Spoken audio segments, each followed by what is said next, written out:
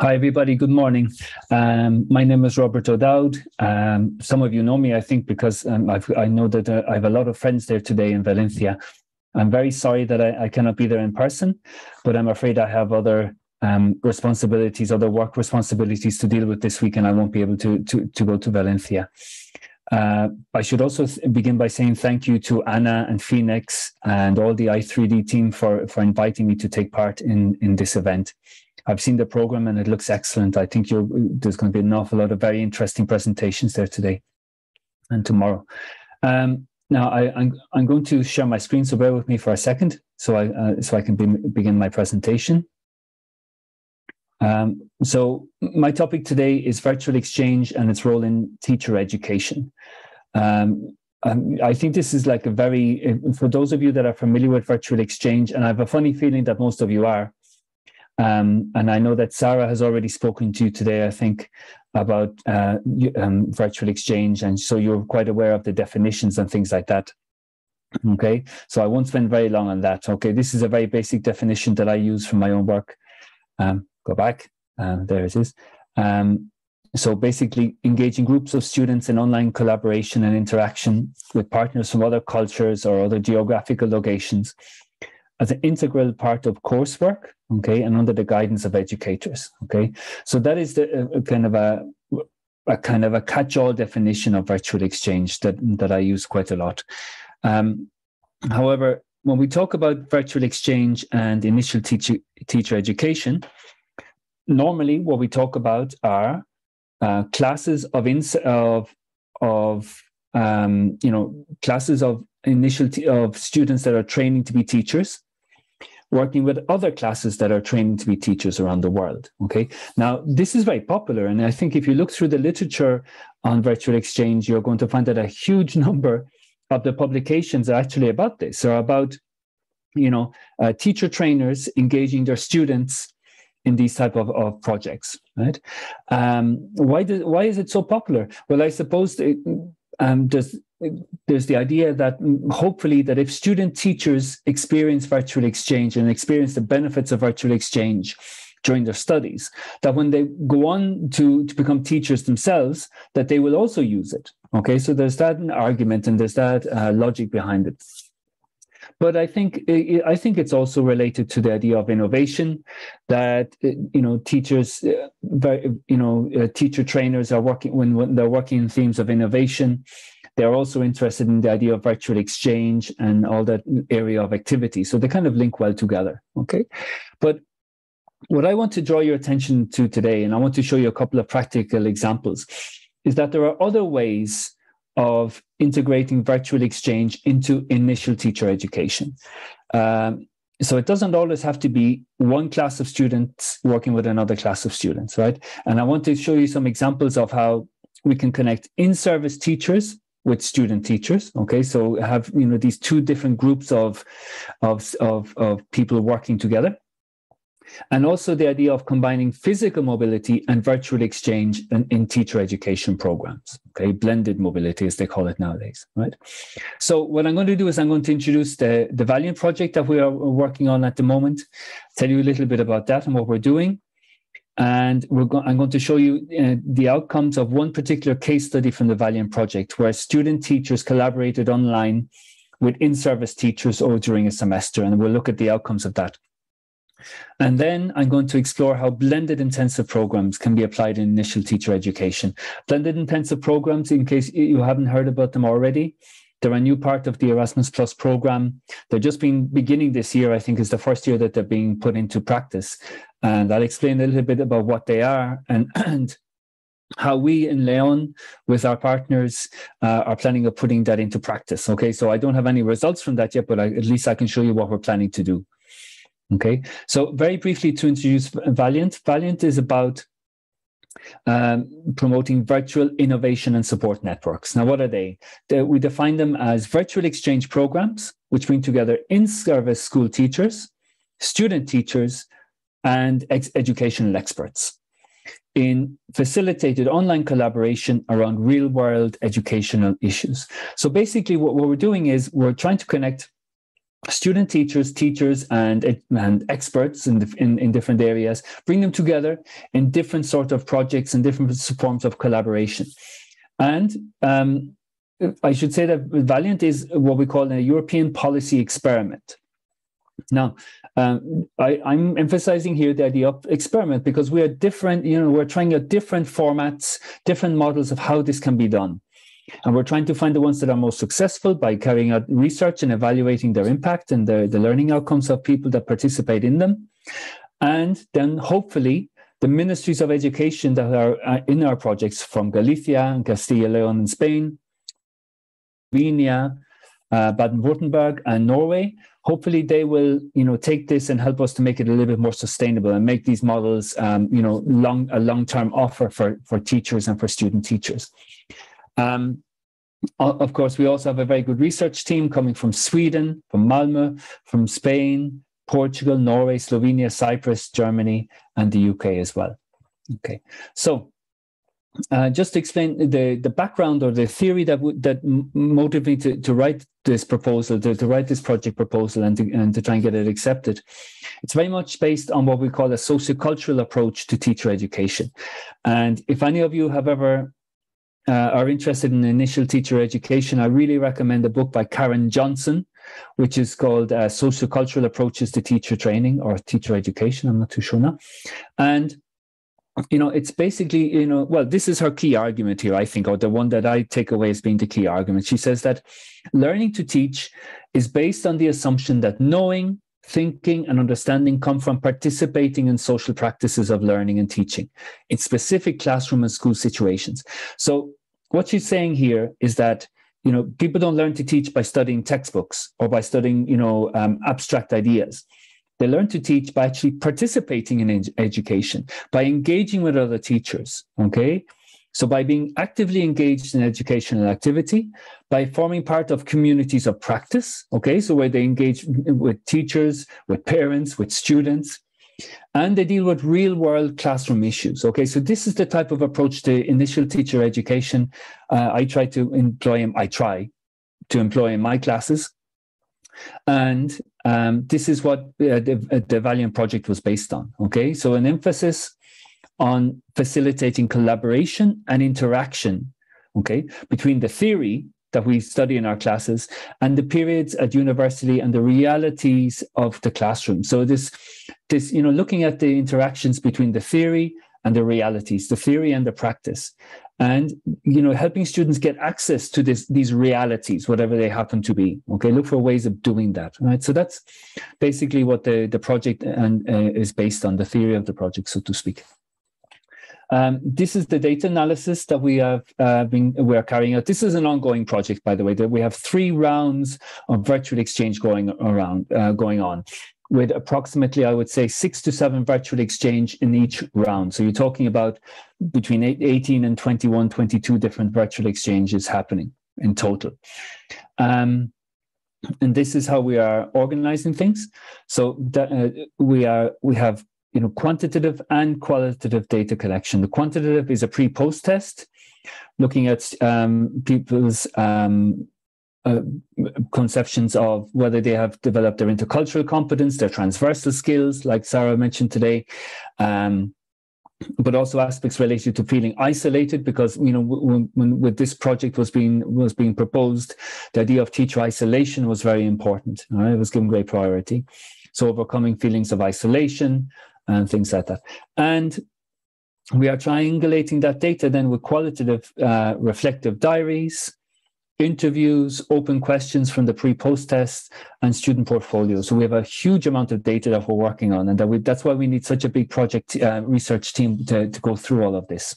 Okay, um, now so far um, we, I've only got quantitative data, so to speak, from the first round of exchanges.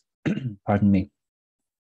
And um, as you can see, the levels of satisfaction uh, are very high. People are, you know, we've only got, but this is data, by the way, from 101 teachers and 135 student teachers, okay, in the pre post test. And in the post test, they're telling us that they learned a lot from virtual exchange. It was useful for their future career as a teacher, the student said.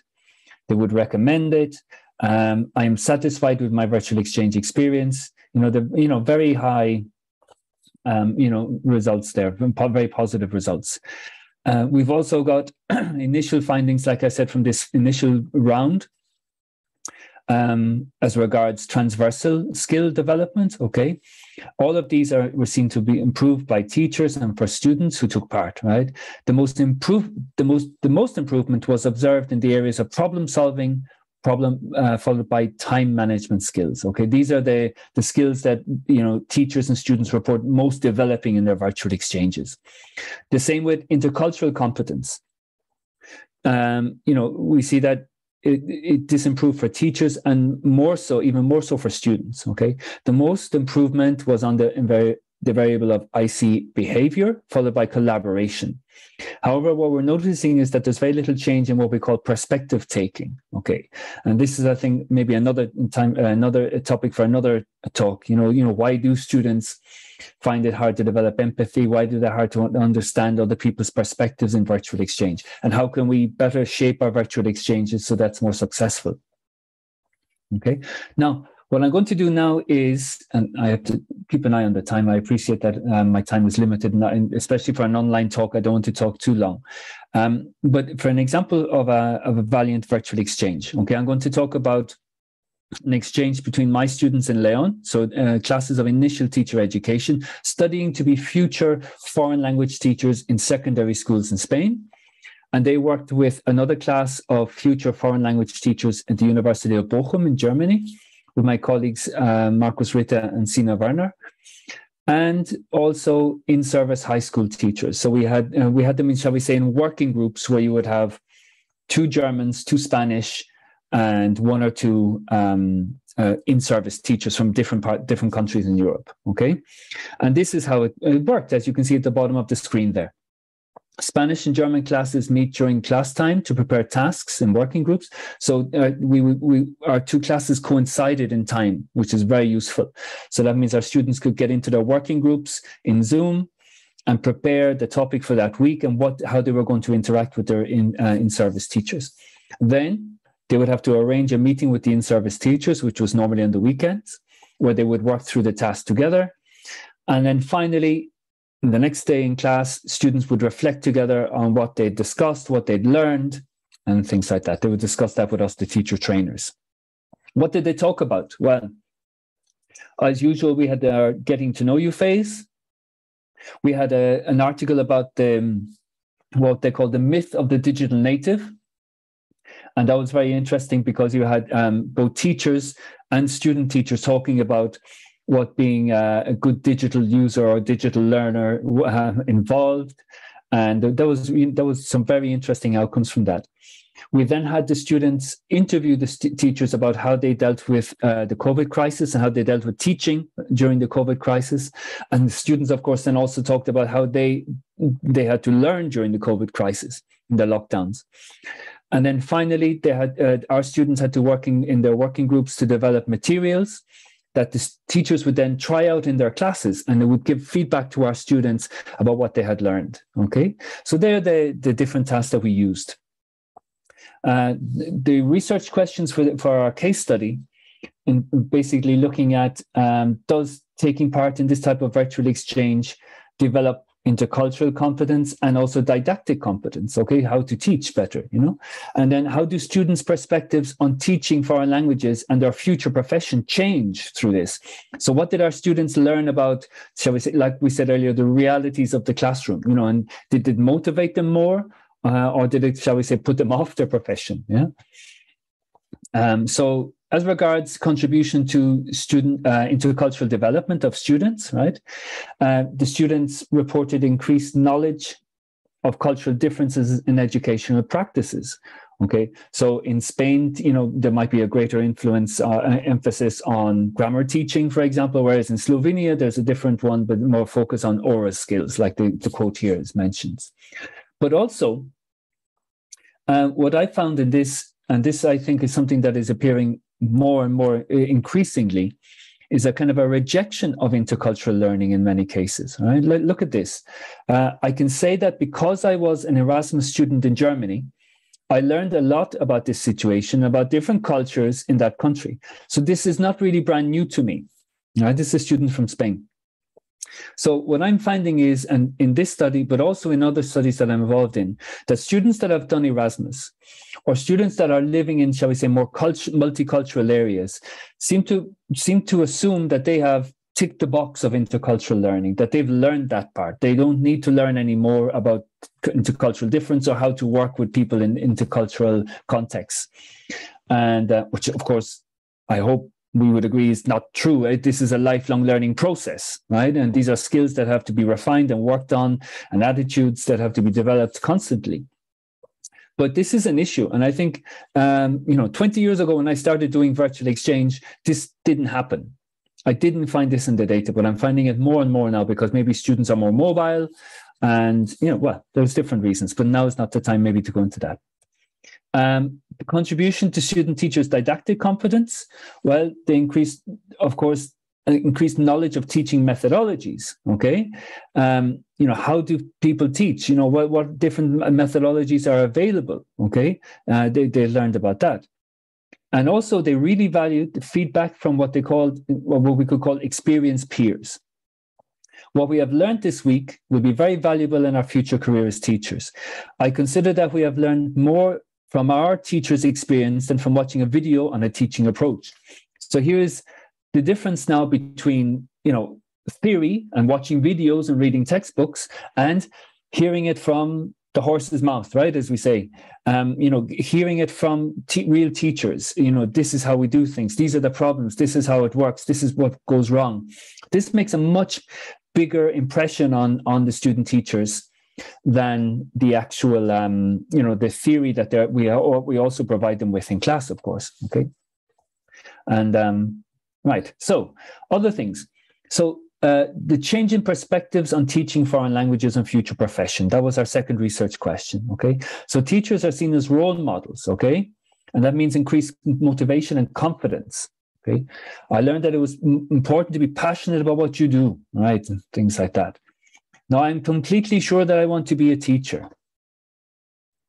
And also, they learned about what we call the realities of teaching. So far, it has slightly influenced my perspective on how I regard teaching as a career in the sense that I see the amount of work teachers have to actually carry before even coming to the actual classroom and are able to teach. Okay, so all the, I suppose, the administrative load and the pre- preparation involved in teaching. Okay. So these are issues that come up, you know, and how it changes students' perspectives, you know, by engaging with re- real teachers.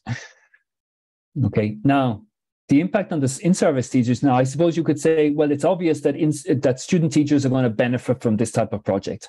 But I'm also, I was very concerned, and I am very concerned of what can in-service teachers get out of these projects. Okay, well, these are the things they mentioned the student perspective on activities and classroom practices. So getting, you know, the student point of view. Uh, the enthusiasm and positive attitude of the student teachers was motivating for them. And students' familiarity with recent methodological developments and theory. So students were actually at times more relaxed and more confident talking about you know issues of intercultural development task-based learning things like that the, you know this kind of vocabulary than the actual teachers were and then opportunity to share problems and challenges with other colleagues because of course these teachers were meeting student teachers but also other teachers from around europe. And that was one of the things that one of our aims was that they would overcome isolation this way. So i'm going to show you a very short video here. I hope you're going to be able to hear it okay. I, I think you will. I'm going to put it up to the top. Uh, where we have uh, so in-service teachers, okay, talking about what do you learn from collaborating with student teachers, okay, just a very brief video the learning process is mutual. I get a lot of feedback from students who are still in, in sort of the other side of the learning process as well. Although some of them may have a teaching experience, which is very valuable, so they can share it with, um, you know, us more, more experienced teachers. Um, they're still very young and full of ideas and, and practical um, uh, examples of how they would deal with the situation. Yeah, I gave them some of my uh, when I have a conundrum, I share I shared it with them, and they offered some advice.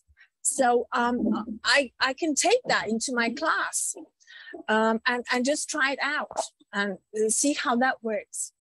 Um, so I think it's it's very good because um, they can um, they're closer in age and probably uh, in some ways they're closer to my students and they are to me. But then on the other hand, uh, they're closer to my, uh, me as a colleague. Um, as we, we, in a way, we're like peers, and we can also share the experience that they've had uh, with in their teaching. Our meetings were interesting.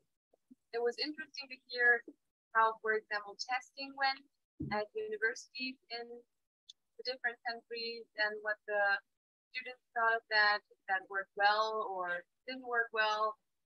That was very interesting for Kathleen and me because we're sitting on the other side trying yeah. to get grades out of the students. Um, so that was pretty cool. I was always looking forward to the meetings with the students. You know, we read the same article, we watched the same video, but the students looked at it um, at, from a different perspective. Mm-hmm. And I, am not that old. I'm only 29. I'm not that far away from university. But still, um, it is very different in the way of thinking. So they mm-hmm. just took a whole different approach, and then we just started discussing it, and then uh, the hour was over already. So I think we could have discussed a lot more. um, something more practical. I mean, we were like talking about the theory over and over, and sometimes I had the feeling that we were repeating the same. So maybe if we had like a problem uh, to find a solution and maybe we can work on that, I think that would be like more useful for them and for us. Okay, that's, that's an interesting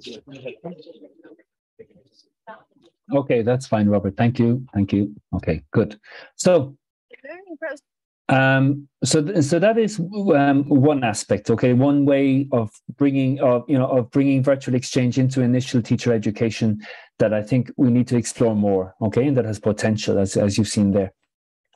The second one I want to talk to you to, about today is something that we we're just beginning to work on, right?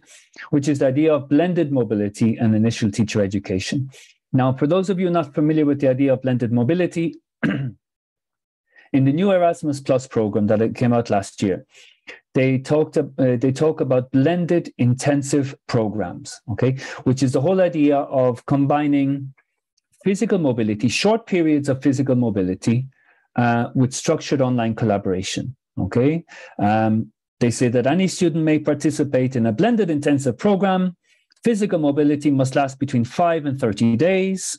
And you combine that with a compuls now, a compulsory virtual component facilitating collaborative online learning, exchange, and teamwork, which for me is virtual exchange. Okay, that second part, that virtual component facilitating collaborative online learning, exchange, and teamwork. Okay. And students should receive a, uh, three ECTS for participating in it, a minimum of three ECTS. And now, so we're trying to the, my partners in Bochum again and and my, ourselves in Leon, we're trying to put that into into practice. So we've come up and as again as part of the Valiant project, we've put this into the Valiant project as well.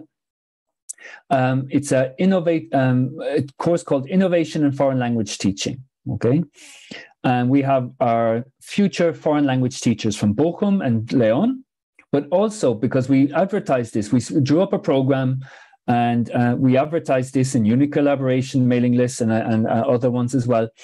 Uh, we, we have participants from Oulu in Finland, Sassari in it- Italy, uh, Lithuania, and Trinity College in Dublin as well. Okay, so we have a very nice mix there of student teachers. We also have a small number of uh, um, in-service teachers participating in the groups as well. Um, however, the problem is we, we, are we are concerned that the funding, the Erasmus funding for travel, that all of our all these students are going to get access to, we don't think that in-service teachers are going to be able to access that. So that's why we are, you know, not you know not um, you know over encouraging in-service teachers to take part. So um, this is what it looks like, our course, basically. Uh, it's going to be running this uh, autumn. It's going to start on the 15th of November and run until this, the 9th of January. no, a little bit longer, 15th of January, sorry. Okay, and the, in the course, we introduce new developments in foreign language teaching. We get the participants to reflect and compare different teaching practices in their countries. And we give them firsthand, as usual, experience in collaborating in English with international colleagues. So preparing them to become part of international networks when they graduate, we hope.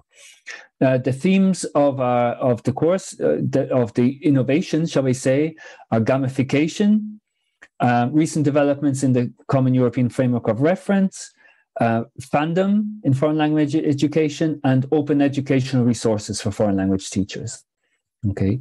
And so, like we said, we're going to have student teachers, in service teachers, and guest speakers. How does it work? This is what it looks like. Uh, we have online lectures and discussion with guest speakers. Okay, so each week for over a four week period, we're going to have a guest speaker who's an expert on one of those topics that I just mentioned.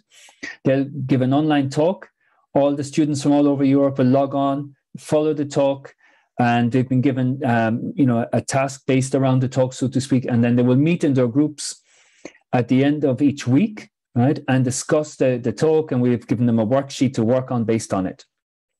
Then uh, that goes until the 9th of December. Then they'll have a three week, uh, a two week period where they will have to start planning their own project. Each working group, which is I should I should be clear, is like you know a mixture of maybe two Germans, two Spaniards, one Lithuanian, and one Italian, for example, international groups. Uh, they have to come up with their own project based on what they've seen in the lectures okay? And one of the topics are inspired by or you know related to one of the topics at least that they've seen in these lectures. They have to come up with a project proposal or materials teaching materials for a classroom.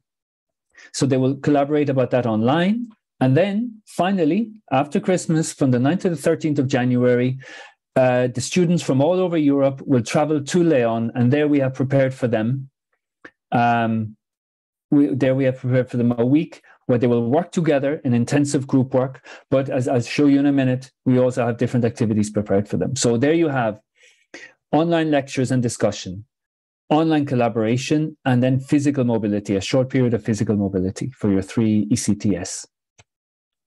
And for each of the stages, like I said, we're structuring this where they, you know, read articles beforehand and then they see the talk online. They can talk to the to the to the invited speaker, and then they will meet in their own working groups and discuss things. Uh, the second stage in their project, they have to meet up and agree on what the project is going to be about, how they're going to organize it, how they're going to structure their work. And then in Leon, like I said, we have a, a, full program of activities where we have guest lecturers coming to speak to them.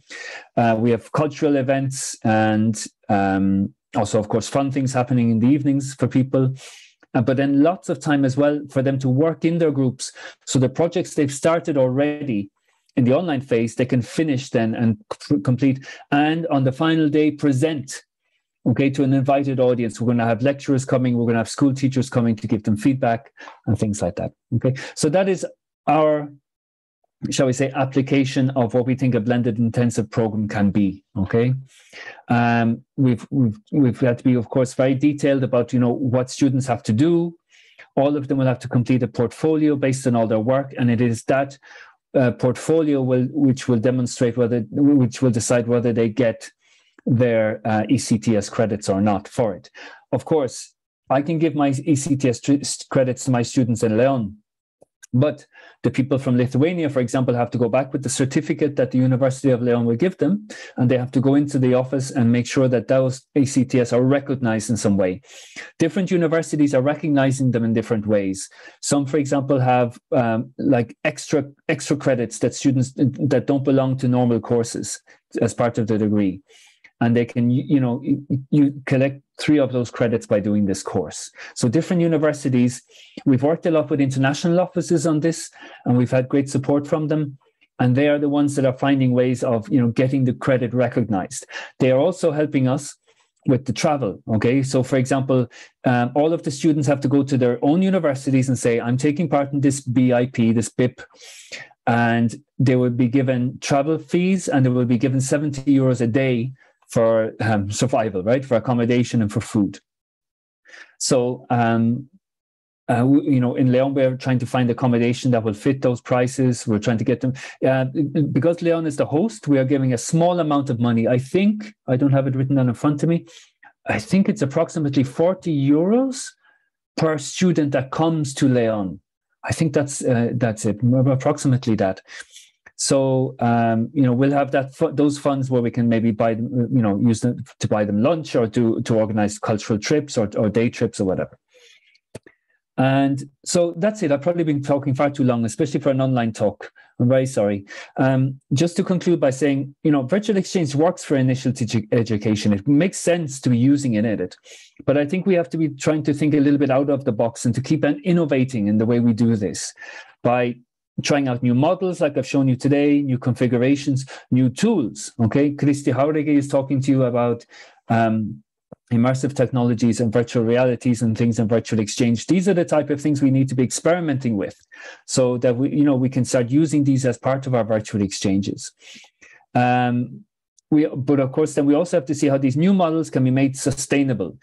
Uh, it's no use killing yourself for two years trying to develop a new model of virtual exchange, and then as soon as the project ends and the funding ends, um, you know, then it just dies. Okay, we have to find ways of making these sustainable. And finally, um, I, what I'm something I'm very curious about, and I think we should be investigating in this area, is you know, is, is, it true that if we get our students to use virtual exchange in our classes, will they go and use it themselves when they start working? Okay, that's something I think is really worth exploring. So thank you very much. This is the the link to the Valiant website and our Twitter feed and my email address if any of you want to make contact. But I think I'm going to try and log on and talk to you after this talk today. Okay, so thank you very much.